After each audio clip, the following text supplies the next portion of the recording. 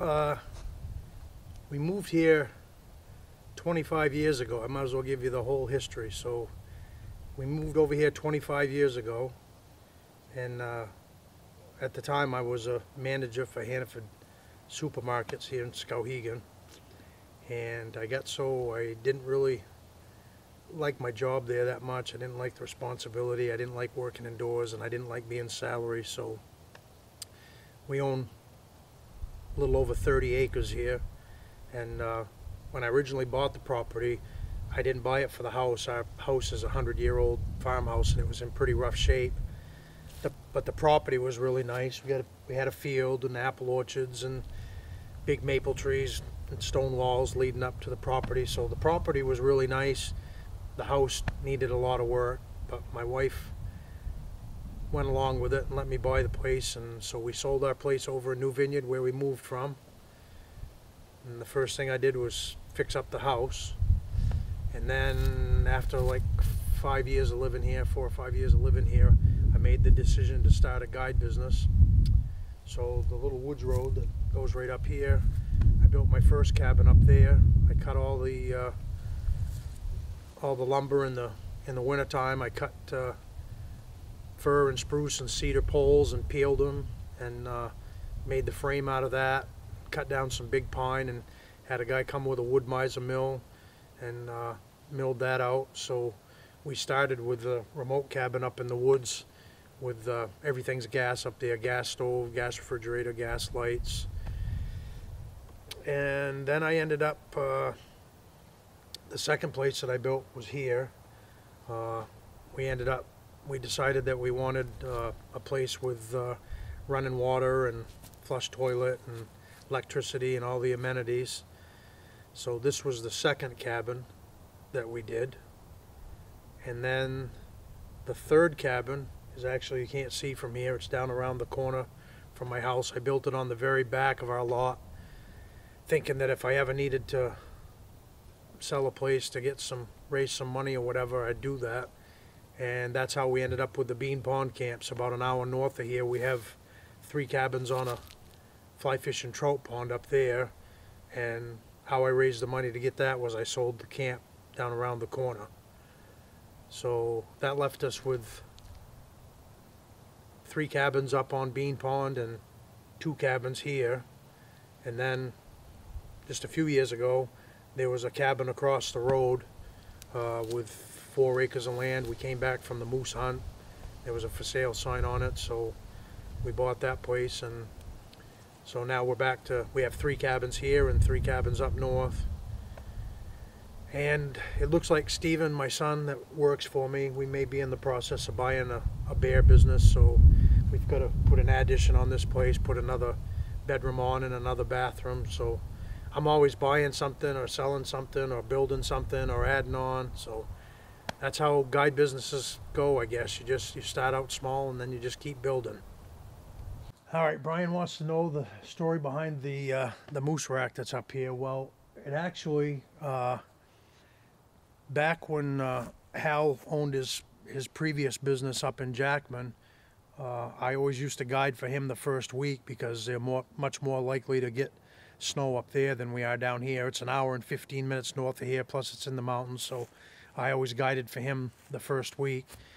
And I found a place up there not too far from uh, where his remote camp is uh, up on his lease that had a lot of deer and a lot of moose. And I actually, I wish I had got in there a few years earlier because the first couple of years I was guiding deer hunters in there, I just, I was finding sheds all the time. And there was a really good gene pool up there, evidently, because Hal told me the best moose that he ever saw, uh, he saw up there. And this bull here was, I figured, uh, it's been you know, screwed to the side of my camp here for a long time now, and it shrunk up some and bleached out. And I probably should have kept it inside and kept it good, but it looked good on the cabin. And uh, but anyway, it's a Boone and Crockett glass moose rack from Maine. Uh, and I tried to figure from the skull plate and everything when I first found it, it was over 60 inches. Really nice big palms. He had good fronts. Think he's got six on this front over here. Uh, I found it guiding a deer hunter one day. We were going through some open hardwoods looking for deer sign, and I looked down about a hundred yards in the woods, and I told my client, I said, I think that's a moose rack laying there.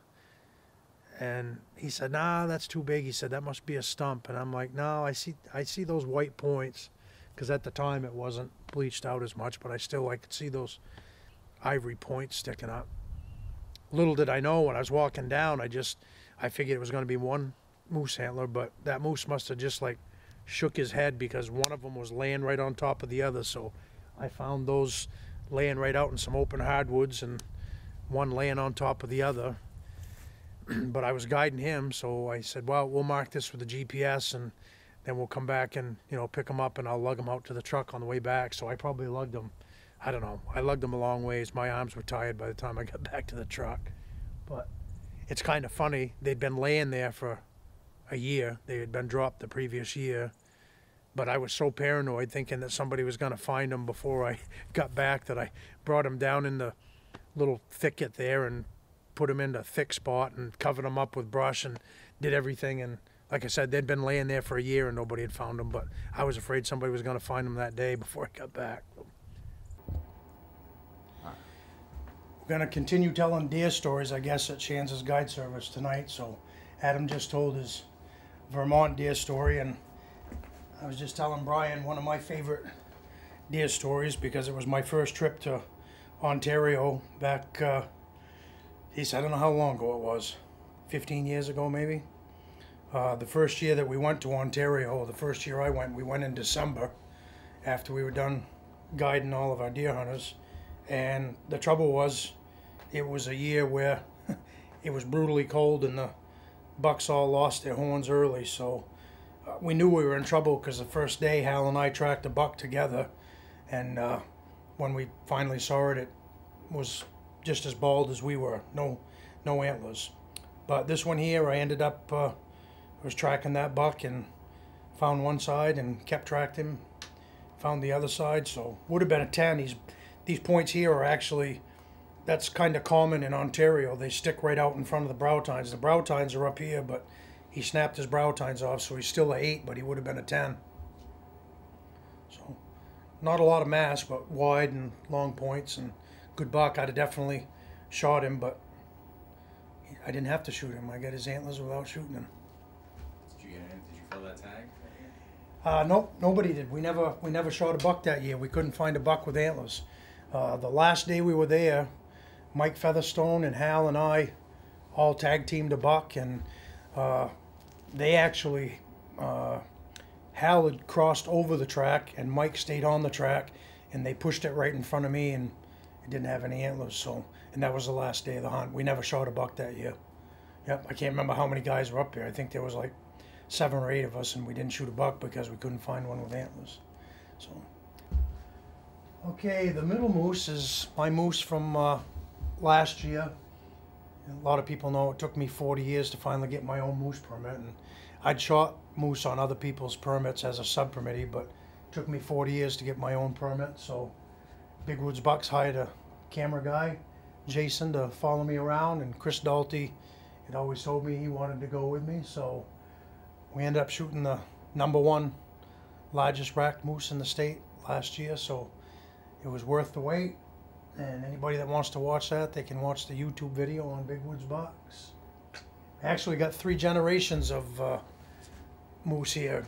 The smaller one over here, my son got drawn uh, when he was 12 or 13 years old, and I was guiding some hunters, so my dad took him and that's just an average Maine moose. I think it was like 46 or 47 inches. It was a young moose, but uh, Stephen shot it, so I had it mounted. And then the one all the way up in the top, the European mount, uh, my dad, when he turned 70, they gave him a moose permit. If you had the maximum number of points and hadn't been drawn when you turned 70, they gave you a permit. So that bull ended up being one of the oldest bulls killed that year. We had we had four guys in moose camp that week, and Stevens guy killed one that was seven and a half, and I can't remember what Sean's was. And then I guided my dad, and that one was 13 and a half, and Brett guided a guy that got one that was 15 and a half. So we shot Brett's, I think, was the oldest bull taken that year. I think somebody shot a cow that was older, but so that was the oldest bull, and my dad's must have been right up there. Like I said, it was 13 and a half years old. Still a nice moose. His antlers probably started going the other way, but it was still a nice bull. Well, that the rack? that rack Yeah. right over there in the corner. Uh, my dad shot that when I was a junior in high school. Um I'll show you. We're gonna go in the house in a little bit, but I shot my first deer when I was 13 years old up in Kokadjo. I shot a 200 pound buck with a really nice heavy eight point rack. So we started hunting in the Kokadjo area, but we were headed to Kokadjo that day, but the guy that was going with us was sick and my and it was raining, so my dad said, uh, let's just hunt around Greenville today. So we went up on Scammon Ridge. Sometimes it's better to be lucky than good. We'd never hunted Scammon Ridge in our life, but I don't know if there's still deer there today. But we went up on Scammon Ridge. We drove down a dirt road and looked at a hardwood ridge and said, oh, that looks like a good place to hunt. We got out, probably hadn't been in the woods an hour, and I jumped this deer and uh, it ran down in front of my dad, and my dad killed it, and it ended up being the tenth biggest buck taken that year. Weighed 250 pounds.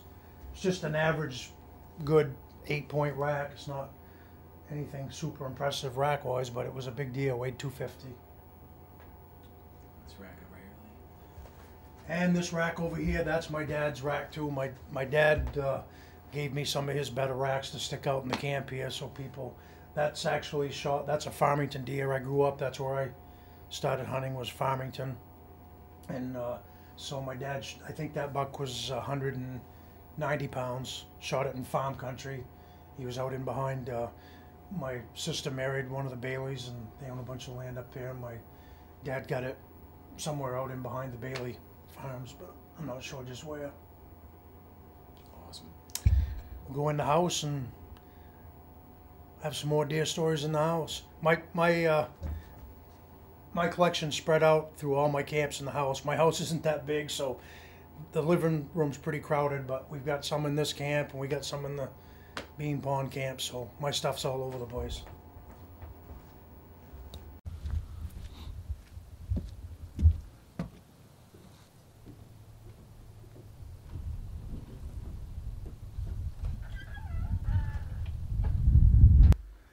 Well, like I said, out in the camp, we've got my mounts are spread out all over the place, but um, I've got some pretty good stories here. Every one of these bucks has got a story.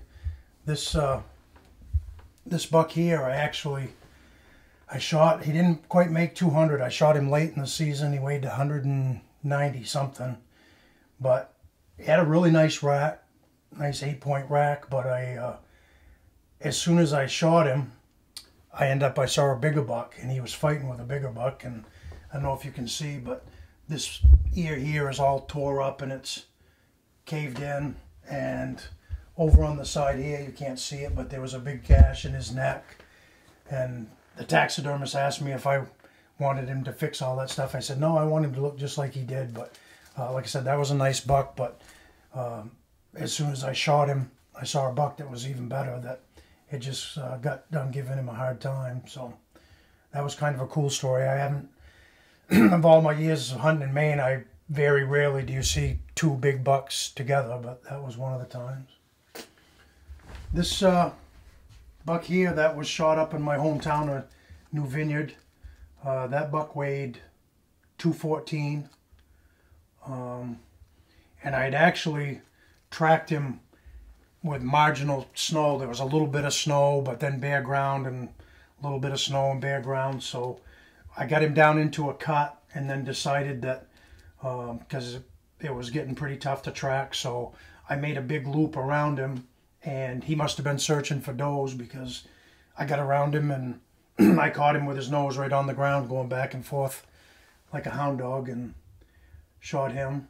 And he would have been a 12 pointer. He's got six points on this side, and he's got four on here, and you can't really see it, but he would have had a drop tine right there. But this side of his antler is hollow. I don't know what caused it, but it's hollow on this side, and it probably was on the other side. And with that drop tine, uh, he snapped it off. So, but it's still a nice, nice buck. Uh, the reason why the bear is such a good story is it was shot on Thanksgiving Day, and um, you'll never find a better looking bear mount because he's instead of like in September when the hair's really short. I've never seen a bear mount that had that much hair on it. It's just he's beautifully furred. It's got the nice white V patch. It was a 350 pound bear, and it had a unusually big head even for a 350 pound bear. But the reason why he looks so good is he was shot on Thanksgiving Day instead of September. This bucking back here is uh, that was my first Cornville buck. Uh, we moved to Cornville 25 years ago, and I had uh, agreed to meet my dad. My dad was still living in Farmington, but he came over, and that was shot on Thanksgiving Day, and so that was my first Cornville buck, and it was a nice one. Again, it wasn't 200, but it was crowding it. It was a nice buck. This buck here is my heaviest buck that I ever shot. I shot that up in Kokadjo. Uh, I was with my dad when I shot that. I actually, I've been very fortunate. I've been with my father and my son when I shot a lot of my bucks, but that buck weighed 245. Uh, I think when we were talking, the one that my dad shot that weighed 250 was the 10th biggest deer taken that year. I don't know where this ranked, but it was 245. It was a good one. This is my very first, that's probably my favorite one. Uh, I shot that when I was 13 years old. That's a Kokadjo buck as well. Uh, it's the first time I ever went to Kokadjo, and that was shot either on Thanksgiving Day or the day after. That was a 200 pound buck, and it had, I think it still has the most mass of any of my racks that I've shot. It was really heavy. Uh, scores in the 130s because it had such mass and long beams, but it really is almost a six pointer. He barely has brow tine, so he's an eight pointer, but barely. This one here is one of my better scoring racks. That's 140 inch. That's an 11 pointer. That deer weighed 239. And these two deer here were probably the same gene pool. I shot them two years apart. That one weighed 239, and that one weighed 238. And this one had a better rack, but this one, uh, you know, it was a nice buck. Steven, my son, was with me when I shot that. This buck here, the reason why that one's special for no other reason, I, I shot it on the very last day. I thought I was going to go without getting a deer that year, and I shot that buck on the last day. It's an eight pointer. It wasn't that heavy. I think it was 160 pounds. It's just an average buck, but uh, yeah, it was a last day buck, which was cool. And this one is uh, one of my favorites because I killed, I was telling Brian earlier, uh, I killed a buck. I don't have it hanging in here, but I killed a 237 pound buck one year. I tracked it on dry ground. There was no snow, but it was perfect conditions. It had rained really hard the day before, and the buck crossed the road in front of us, and I had me and my dad and a couple of my cousins and a buddy, and the buck was so heavy that it was making punches in the leaves, and I was ab- able to track him quite a ways, maybe a half a mile, close to it, just in the leaves. He went right down through the open hardwoods, and when he got out into a cut, he stopped and was looking back towards me, and I shot him. This one here, it it wasn't completely bare ground, but there was very little snow. And I actually shot this like right out behind our house. I went out there and there was just a little bit of snow and I tracked him. And when he was up on the hill there was you know everything was white. But if he got in the firs I'd lose him and I'd have to circle. But then when he went down over the hill he went down on the linklet a lot and he got down near some beaver bogs and I could follow him in the leaves for a little bit and when he crossed the beaver bog I thought well I said, I don't know if I can going to be able to follow him. I'm to circle around the beaver bog, and I've done that a few times. If a if a deer, if the snow is marginal, sometimes I'll try to make loops around and then come back and find the track. But anyway, I, I went around the beaver bog and looked down in the open hardwoods, and that buck was laying down, and I snuck up on him and shot him right in his bed. He never got out of his bed. So that was kind of a that one was over 200, but I was lucky I shot it. I think it was the first or second day of the season. It was a young deer. His rack's not very heavy, but I think he weighed 201 uh, like the first or second day of the season. So good thing I shot him early.